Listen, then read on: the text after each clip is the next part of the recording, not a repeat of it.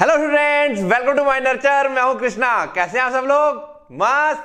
बढ़िया. तो चलो स्टार्ट करते हैं आज हम लोग फार्माकोथेरेपेटिक्स का चैप्टर नंबर टू डी ठीक है ना? तो ये फिर बता दो बच्चों में. हर बार बता देता हूँ. ये जो चीज़ है टू वगैरह, ये क्या है? जो अपना पीसीआई का सिलेबस है, उसमें टू डी टू ई करके है. बुक्स वगैरह लेकिन कुछ बच्चों ने ले रखी है. तो वहाँ पर क्या है? वन टू थ्री करके दे रखा है. तो कंफ्यूज या कंफ्यूज ना हो. ठीक है ना? कंफ्यूजन ना करें. तो टू यानी कि हेडिंग हमारे पास क्या है? सेंट्रल नर्वस सिस्टम इसी सेंट्रल नर्वस सिस्टम को हम लोगों ने फार्माकोलॉजी में भी कवर किया हुआ है। और कहीं ना कहीं सारी बातें तुमको दिमाग में क्या रखनी होती हैं? वो न्यूरो ह्यूमरल ट्रांसमिशन वाली। हमारे दिमाग में जो टोटल टोटल क्या है? न्यूरॉन्स हैं। हमारा दिमाग पूरा किस टाइप के सेल से बना हुआ है? न्यूरॉन से बना हुआ है। किस तरीके से उनमें कंडक्शन होता है? वो न्यूरो ह्यूमोरल ट्रांसमिशन वाला जो केस हमने पढ़ा था फार्माकोलॉजी में। ठीक है? जो मैसेज ट्रांसफ़र होने का या केमिकल किस तरह से मैसेज ट्रांसफ़र करते हैं तो पूरा प्रोसेस दिमाग में रखना है। फिर पढ़ोगे, चीज़ों को समझोगे तो फार्माकोलॉजी भी आसान लगेगी और फार्माकोथेरेपेटिक्स भी आसान लगेगी। अब देखो एपिलेप्सी कहीं ना कहीं इस एपिलेप्सी को हम लोगों ने फार्माकोलॉजी में प्लस अपना, क्या कहते हैं फार्माकोलॉजी और प्लस अपना फार्मास्यूटिकल केमिस्ट्री में एंटी कन्वर्जेंट जो पढ़े थे, वहाँ पर कहीं ना कहीं इस पार्ट को हमने थोड़ा सा कवर किया हुआ है। तो सारी बातों को मिक्सअप करके चलना है, साथ लेकर चलना है और साथ पढ़ते हुए भी चलना है, ठीक है ना? क्योंकि फ्यूचर में एग्जिट एग्ज़ाम भी होंगे हमारे। तो आओ स्टार्ट करते हैं एपिलेप्सी क्या होती है एपिलेप्सी अब एपिलेप्सी अगर पढ़ा है तुम लोगों ने फार्मास्यूटिकल केमिस्ट्री और मेरे लेक्चर देखे तो एपिलेप्सी कन्वर्जेंस है ना? ये सारी बातें मैंने बता रखी हैं। कहीं ना कहीं एक तरह से दौरा, जो मिर्गी का दौरा पर कह लो, या उस टाइप का कन्वर्जेंस क्या होते हैं, जो हाथ पैर मूव करते हैं इस तरीके से तो एपिलेप्सी कहीं ना कहीं उसी का एक रूप मतलब एपिलेप्सी की वजह से ही कन्वर्जेंस पड़ते हैं, ठीक है ना? तो एपिलेप्सी एक दिमागी बीमारी है, दिमाग के जो सेल्स होते हैं सेल्स कौन से होते हैं? न्यूरॉन्स उनकी प्रॉब्लम की वजह से क्रिएट होती है, क्योंकि हम पढ़ क्या रहे हैं? सेंट्रल नर्वस सिस्टम तो देखो क्या लिखा हुआ है इंट्रोडक्शन में? अगर हम बात करें तो डेफिनेशन में क्या है? Epilepsy is a common serious neurological condition neurological मतलब न्यूरॉन से रिलेटेड है. किससे रिलेटेड है? न्यूरॉन से अब ये मत कहना न्यूरॉन नहीं पता, है ना? Neuron cells where there is a tendency to have seizures that start in the brain seizures कहाँ स्टार्ट होते हैं? ब्रेन में स्टार्ट होते हैं, जिसकी वजह से फिर हाथ पैर जो, ये जो बाहरी लक्षण आते हैं कन्वर्जेंस वगैरह, वो एक अलग बात होगी. वो जो दौरा पड़ना हमारा कहाँ स्टार्ट होता है? दिमाग में स्टार्ट होता है. ठीक है? The cause of most cases of epilepsy is unknown जो मिर्गी का दौरा होता है, दौरे पड़ते हैं। उसके कई बार जो कारण होते हैं हमारे पास, जो दौरे पड़ते हैं, उसके जो कारण है, ज़्यादातर अननोन है, हमको नहीं पता क्या कारण है। कि क्यों ऐसा हो जाता है। Not all seizures are due to epilepsies जितने भी दौरे पड़ते हैं, वो एपिलेप्सी नहीं होते हैं। Seizures can happen from many different reason seizures कई वजह से पड़ सकते हैं सच एस डायबिटीज़ की वजह से पड़ सकता है हार्ट कंडीशन की वजह से पड़ सकता है। Here when we use the term seizure लेकिन यहाँ जब हम बात करेंगे, क्योंकि हम क्या पढ़ रहे हैं? सेंट्रल नर्वस सिस्टम तो इसीलिए हम डायबिटीज़ और हार्ट की बात नहीं करेंगे, लेकिन हाँ इस कंडीशन की वजह से भी सीजर पड़ते हैं, दौरे पड़ते हैं। यहाँ पे जब हम सीजर की बात करेंगे वी मीन एपिलेप्टिक सीजर हम यहाँ पे जब भी बात करेंगे तो इसका मतलब एपिलेप्टिक सीजर ही होगा। किसी और वजह से सीजर का हम नहीं पढ़ रहे यहाँ पर। बात समझ में आ रही है? Most common type 60 percent of seizures are convulsive है ना? कन्वर्जेंस कन्वर्सिव होते हैं इसलिए हम लोग, क्या पढ़ रखा हम लोगों ने? एंटी कन्वर्जेंट ड्रग पढ़ रखी है हम लोगों ने। पढ़ रखी है? एंटी कन्वर्जेंस ड्रग्स ठीक है ना? तो चीज़ों को साथ लेकर चलना है। देखो, सबसे अच्छा तरीका यही होता है, जब ये टर्म आ गया है और एंटी कन्वर्जन ड्रग्स की बात मैंने कर दी है। अगर वो कहीं मिस हो गया है, दिमाग में नहीं सेट हो रहा है तो यहाँ पर वीडियो पॉज कर सकते हो। थोड़ा सा एंटी कन्वर्जन ड्रग को जाकर के चेक कर सकते हो, जो कि हम लोगों ने पढ़ रखा है। ठीक है? क्योंकि बार बार चीज़ों को पूरा पूरा डिटेल में जाने से लेक्चर हमारे बहुत लंबे लंबे हो जाएँगे, क्योंकि ऑलरेडी हम इन चीज़ों को डिस्कस कर चुके हैं। ऑफ़ दिस इनमें से, ये जो ज़्यादातर केस कौन से हैं? कन्वर्सिव वाले हैं। इनमें से one third begin as generalised seizure अब दो तरह के सीजर हमारे पास। एक है generalised seizure from the start affecting both hemispheres of the brain brain के दो पार्ट होते हैं, अगर तुम देखो गौर से। इस तरह से हमारा ब्रेन है ना?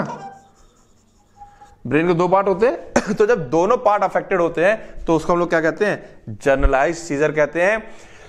टू थर्ड बिगिन और as focal seizure one third जो केसेस हैं, वो जनरलाइज सीजर जिसमें दोनों पार्ट अफेक्ट होते हैं.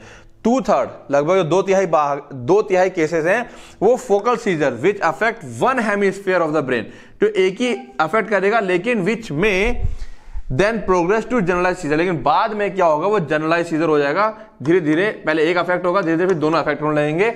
यानी कि जो फोकल सीजर है, वो बाद में जाकर के जनरलाइज्ड सीजर में बदल जाएगा। कुछ नहीं है। जनरलाइज सीजर का मतलब ब्रेन के दोनों पार्ट अफेक्ट हो रहे हैं। फोकल सीजर का मतलब ब्रेन का एक पार्ट अफेक्ट होता है। क्लियर है बातें? कुछ नहीं इनमें। ठीक है? अब आगे आते हैं।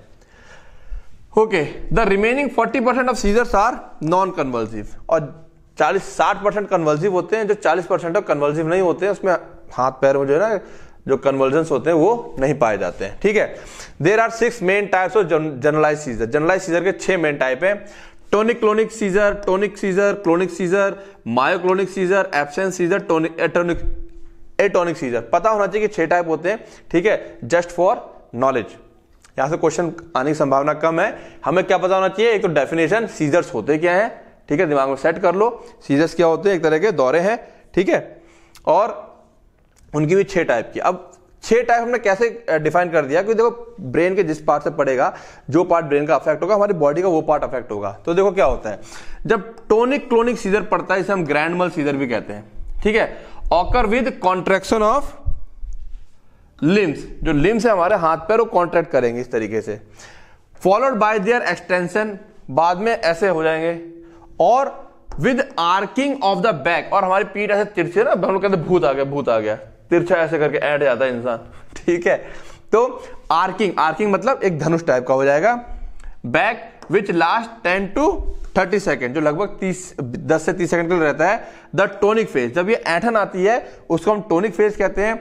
The cry may be heard एक रोने जैसी आवाज़ आ सकती है due to the contraction of the chest muscle जो चेस्ट मसल होती है ठीक है, वो कॉन्ट्रैक्ट करती है बहुत ज़बरदस्त तरीके से followed by shaking of the limbs अब हाथ पैर ऐसे हिलना स्टार्ट हो जाते हैं इन द यूनिसन यूनिसन मतलब एक साथ एक साथ हिलेंगे, ठीक है? और इसको हम लोग कहते हैं टोनिक फ़ेज़ तो इसकी डेफिनेशन ज़रूरी नहीं है, केवल समझ लो कि टोनिक क्लोनिक सीज़न ये तो हम लोग इस तरह से तिरछे हो जाते हैं, भूतिया दिखाते हैं, ठीक है? तो वो कहीं ना कहीं tonic clonic tonic clonic seizure कहलाता है।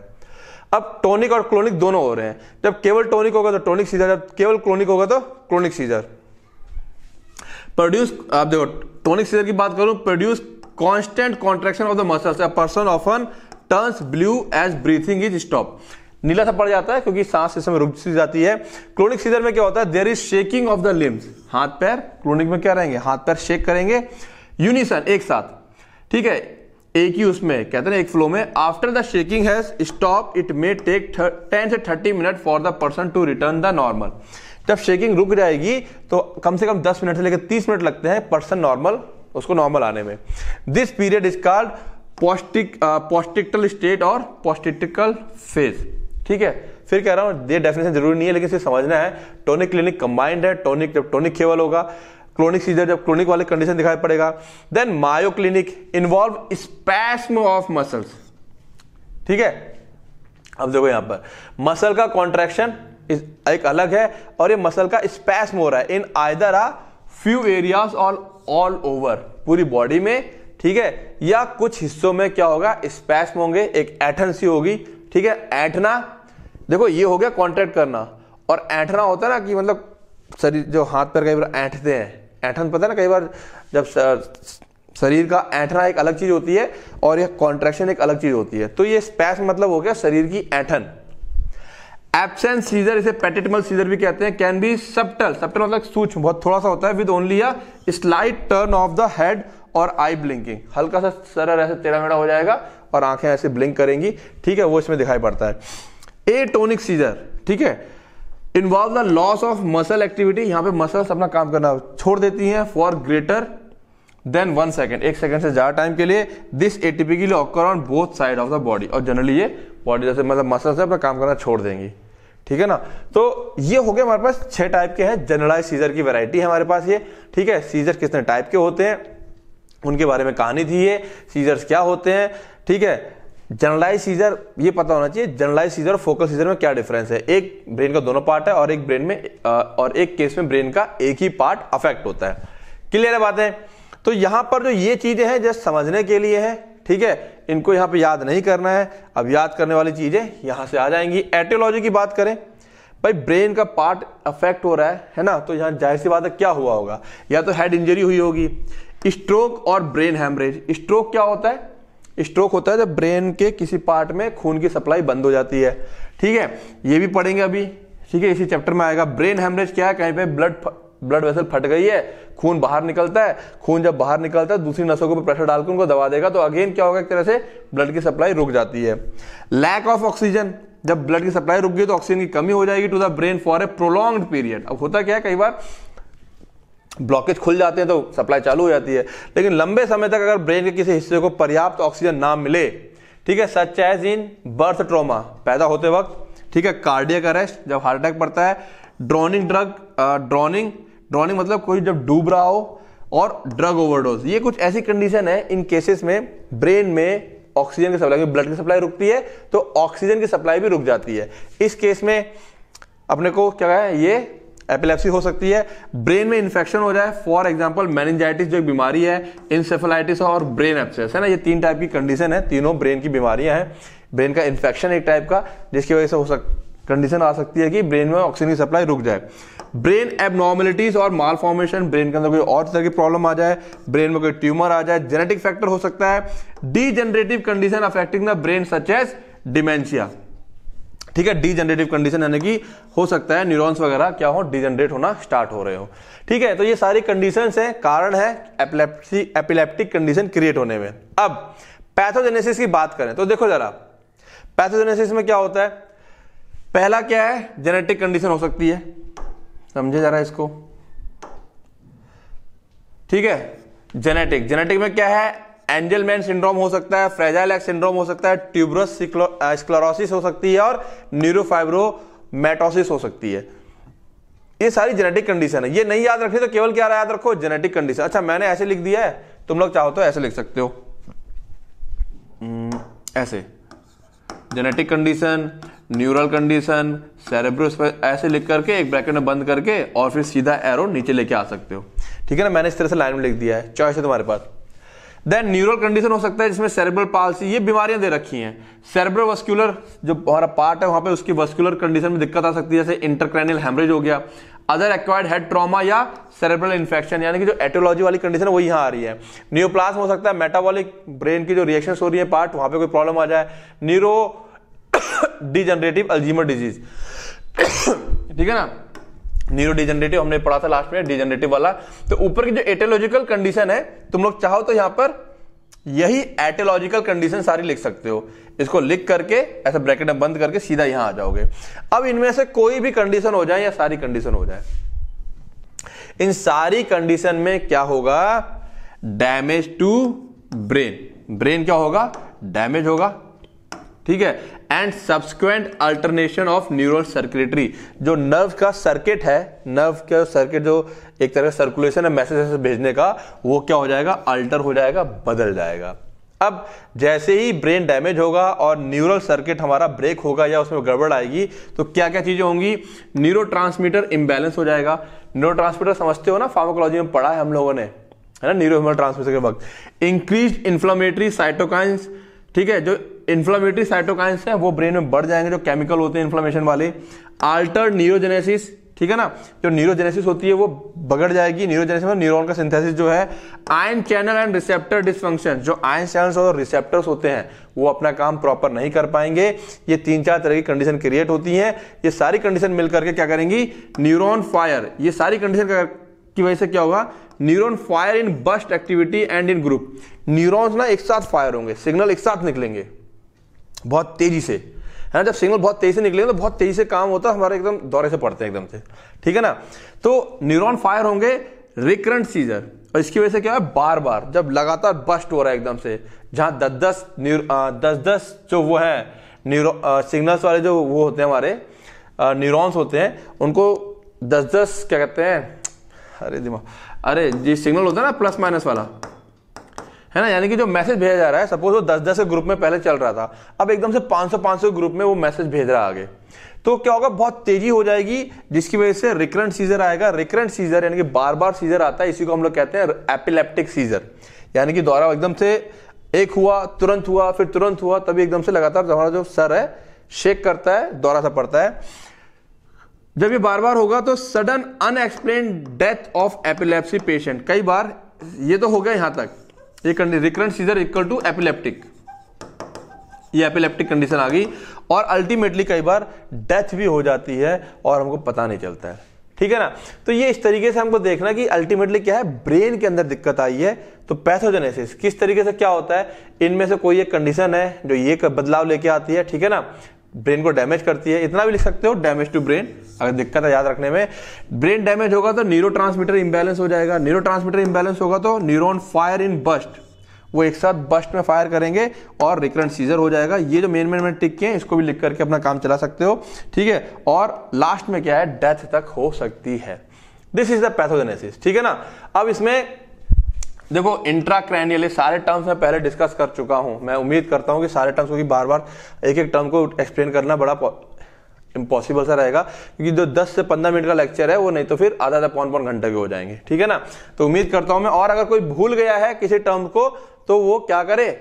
तुरंत वीडियो को पॉज करके गूगल पे सर्च कर ले। जैसे हेमरेज ब्लड का लीकेज, कहीं पे ब्लड फ्लो करता है, ठीक है ना? ये सारी बीमारियाँ हैं तो ये सारी बीमारियाँ हैं क्योंकि जेनेटिक सब्सेप्टिबिलिटी ये एक, दो, तीन, चार चार तरह की बीमारियाँ हैं, केवल पढ़ लो, इनके बारे में डिटेल नहीं जानना। या तुम लोग केवल ऊपर ऊपर की heading genetic susceptibility neural damage cerebrovascular affect other acquired में हेड ट्रॉमा ये हटा दो, यहाँ पे हेड ट्रॉमा याद कर लो। नियोप्लाज्म लिख दो मेटाबॉलिक डिसऑर्डर लिख दो न्यूरो डिजेनरेटिव कंडीशन लिख दो, ठीक है ना? इस तरह से तीन, ऊपर वाली तीन, चार कंडीशन लिख सकते हो। ठीक है अल्जीमर डिज़ीज़ भी अभी हम डिटेल में पढ़ेंगे, इसी चैप्टर में आएगा। उसमें न्यूरॉन्स क्या करते हैं? डिजेनरेट कर जाते हैं। ओके इसके बाद ये हमारा पैथोजेनेसिस हो गया। अब कुछ खास बचता नहीं हमारे पास। Clinical manifestation types of manifestation motor की बात करें मोटर का मतलब जो हमारी मोटर एक्टिविटी जो हम ये मेरा हाथ, मेरे कंट्रोल में, ये सब क्या हमारी मोटर एक्टिविटी है? जर्किंग ऑफ़ एक्सट्रीमिटीज है ना? हाथ, पैर, ये इस तरह से जर्क ऐसे झटके से लगते हैं जर्क लगते हैं। सोमेटो सेंसरी ठीक है ना? ये याद करो ना करो टिंगलिंग एंड नमनेस ये पक्का याद करेंगे ये वाला पार्ट ठीक है ना? ये वाला पार्ट याद करने वाला है। तो जर्किंग ऑफ़ एक्सट्रीमिटीज ऐसे हाथ पैर में झटके लगते हैं। टिंगलिंग और नमनेस सुइया से चुपती हैं और सुन्नपन सा आता है। सिंपल विजुअल फिनोमेना ठीक है ना? जो सिंपल विजन है राइजिंग एपिगैस्ट्रिक सेंसेशन एपिगैस्ट्रिक जो यहाँ पे जो ये रहता है एपिगैस्ट्रिक इसके ऊपर का यहाँ सेंसेशन से होते हैं थोड़े से ठीक है ना? देन सिंपल विजुअल फिनोमेना यहाँ पर क्या होता है जो हमारा देखने का जो फिनोमेना होता है जो हम सम, देखने वाला जो चीज़ें होती है, वो थोड़ी सी बदल से जाती है चेंज हो जाती है। चेंजेस इन स्किन कलर हमारे स्किन कलर में चेंज हो सकता है ब्लड प्रेशर चेंज आएगा हार्ट रेट चेंज आएगा पीपल साइज़ ठीक है, ये सब चीज़ें क्या हो जाएँगी? बदल जाएँगी। डिसफेजिया या एफेजिया जो हम बोलते हैं इस तरह से ना बोलने में दिक्कत आती है, हम क्लियर चीज़ बोल नहीं पाते हैं, ठीक है, बात समझ रहे हो? देन डिसमेंटिक सिम्टम जिसके अंदर क्या पैरानोमिक एक्सपीरियंस ऐसा लगेगा कि पता नहीं, भूतिया टाइप का या, है ना किसी दूसरी दुनिया में है। कॉग्नेटिव सिम्टम में क्या आ जाएगा? ड्रीम स्टेज हम लोग सही से चीज़ों को सोच समझ नहीं पाते हैं। सेंसेशन ऑफ़ अनरियलिटी सामने कोई चीज़ है कि नहीं, हमें चीज़ें समझ में नहीं आती है। कॉग्नेटिव है ना? कॉग्नेटिव क्या होता है? हमारे तर्क करने की जो क्षमता होती है। अफेक्टिव सिम्टम डर लग सकता है डिप्रेशन आ सकता है, गुस्सा आ सकता है। ठीक है? इल्यूजन हो सकते हैं। Then illusion of person then structured hallucination हो सकता है। तो ये तमाम इसमें क्या है हमारे पास? इसके क्लिनिकल मैनिफेस्टेशन ये सारी चीज़ें हमको यहाँ पर क्या होती है? चीज़ें जब समझ में आती हैं, यानी कि जब किसी को होता और कोई बताए कि हमें ये सब चीज़ें फील हुई तो इसका मतलब उसे एपिलेप्सी वाला ही दौरा पड़ा है। क्लियर है बातें? ठीक है। तो structure hallucination visual auditory gustatory और फैक्ट्री है ना? गस्टेटरी क्या हो गया? अपना और फैक्ट्री हो गया सूंघने वाला गस्टेटरी हो गया टेस्ट मुँह में कुछ है नहीं तभी स्वाद जैसा लगेगा। तो एक तरह का क्या हेलुसिनेशन हो रहा है कि हम कुछ मीठा सा खा रहे हैं या जो भी कुछ है। तो तमाम चीज़ें इनमें से कोई भी चार से पाँच तुम्हें याद कर लेनी है, ठीक है? सारी याद नहीं करनी, ये चीज़ पार्ट ज़्यादा इंपॉर्टेंट है। ऑटोनोमिक में क्या होता है? साइकिक में क्या होता है? ऐसे करके याद रखने की ज़रूरत नहीं है। क्लियर है? Then non pharmacological management non pharmacological यानी कि सबको पता है लाइफ स्टाइल को चेंज करेंगे। Exercise avoidance of sleep deprivation हम कोशिश करेंगे, हम वो काम ना करें, जैसे आजकल के बच्चे क्या करते हैं? मोबाइल नींद आ रही, नहीं मोबाइल देखना। ये काम नहीं करना है। नींद आ रही तो सो जाओ। अवॉइड करना है स्लीप डेप्रीवेशन की नींद हमारी खराब ना हो या नींद छूटे नहीं। Avoidance of exercise excessive alcohol consumption alcohol वगैरह नहीं पीनी है। साइकोलॉजिकल अप्रोच की बात करें तो टेक्निक टू अबाउट सीजर और reduce seizure frequency for example avoidance कौन कौन टेक्निक है? अवॉइड चीज़ों को अवॉइड करो। यहाँ लगता है कि झगड़ा होने वाला है जैसे हमारी बहस होने वाली है हमें टेंशन होने वाली है। निकल जाओ वहाँ से। ठीक है? रिलैक्सेशन रिलैक्स करें, ज़्यादा से ज़्यादा। बायो फीडबैक बायो फीडबैक क्या होता है?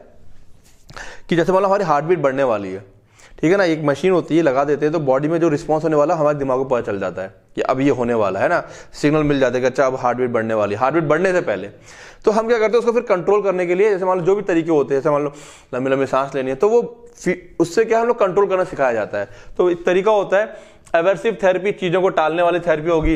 प्रमोशन ऑफ़ इमोशनल वेलबींग एक इमोशनल सपोर्ट कह लो, जैसे कि योगा वगैरह करना है। रिडक्शन ऑफ़ साइकेट्रिक कोमॉर्बिडिटी यानी कि जैसे कि कोमॉर्बिडिटी साइकिक कोमॉर्बिडिटी साइकिक बीमारियाँ, जैसे कि चिंता है डिप्रेशन है, ये सब चीज़ों से बचना है। ठीक है ना? अल्टरनेटिव थेरेपी में आ जाए अगर हम लोग तो हर्बल मेडिसिन होम्योपैथी आ सकता है एरोमा थेरेपी खुशबू वाली थेरेपी होती है hypnosis acupuncture seizure alert dogs कुछ डॉग्स ऐसे होते हैं, जो अगर दौरा पड़ने वाला होता है, उससे पहले वो भौंकना चालू करते हैं। यस ऐसा होता है। ऐसे डॉग्स को पाल पाल लेना चाहिए कि अगर वो जब भी भौंकेगा या इंडिकेशन देगा, इसका मतलब हमको दौरे पड़ने वाले हैं, वो सेंस कर लेते हैं वो। ठीक है? तो उससे हम लोग पहले से अलर्ट हो जाएँगे। सीबीटी है कॉग्नेटिव बिहेवियर थेरेपी यहाँ पे सीबीटी लिखा होगा। ठीक है ना? Coping strategies for living with epilepsy cognitive behaviour therapy यानी कि जो हमारा ऐसी थेरेपी जिससे कि हमारा जो सोचने समझने की जो वो है, क्षमता है, उसको थोड़ा सा मज़बूत किया जाता है यहाँ पर। काउंसलिंग की जा रही है साइकोथेरेपी एजुकेशनल इंटरवेंशन एजुकेट किया जाता है क्या क्या चीज़ें करनी है क्या क्या चीज़ें नहीं करनी है। तो ये तमाम क्या है नॉन फार्माकोलॉजिकल है। दवाइयाँ ना करते हुए हम लोग बिना दवाइयों के अपना ठीक करने की कोशिश कर रहे हैं। लेकिन जब कंडीशन आई गई है दवाई खाने की तो हमको तो एग्ज़ाम में लिखना है तो मैंने कहा use classification of anti convulsant from pharmacology ठीक है ना? एंटी कन्वर्जेंट ड्रग्स जो हमने पढ़ रखे हैं, वहाँ से फार्माकोलॉजी से ड्रग उनको यूज़ कर सकते हो अदरवाइज़ ठीक है? या तो डायरेक्ट ड्रग का नाम इस्तेमाल कर लो, या लिख सकते हो सिंपल कॉम्प्लेक्स सेकेंडरी जनरलाइज में फिनाइटोइन गावापेंटिन जो तुम्हें याद है कार्बाजेपिन ठीक है ना फिनोबार्बिटल देन टोनिक्लोनिक या टोनिक्लोनिक में ये लिख लो टोनिक मायोक्लिनिक एटोनिक या एब्सेंस में क्या है इथोक्सीमाइड एब्सेंस टाइप का जो हमारा जनरलाइज सीजर है। कुछ याद नहीं करना है तो ये चार ड्रग याद कर लो इधर पे। एक, दो, तीन, चार, पाँच, छह, है ना? वेलप्रोएट लेमोट्रीजीन टोपिरामेट फेल्बामेट जोनी जोनिसामाइड और लेविट्रासिटम। तो उससे बेटर है जो जो तुमको कॉमन है फिनाइटोइन का ये सब तुम लोगों ने पढ़ा पिलिकाबैलिन जो ड्रग तुम्हें याद है, उनको याद कर लो कि हम लोग इन ड्रग्स का क्या करते हैं, इस्तेमाल करते हैं। चाहो तो इस तरह से बता दो कि किसके अंदर क्या इस्तेमाल करके नहीं इस्तेमाल करना। तो फार्माकोलॉजिकल कंडीशन में वी यूज़ द ड्रग्स चाहो तो एंटी कन्वर्जेंट वाला जो हम लोगों ने क्लासिफिकेशन कर रखा है। उसके हिसाब से बताना तो है कि हमको ये ड्रग्स इस्तेमाल करने हैं। तो ड्रग्स चाहे यहाँ से ले लो, चाहे ऐसे कर लो, जैसे मर्ज़ी कर लो। ऐसा नहीं कि ये रटना है। ये तो तरीका बता दिया मैंने।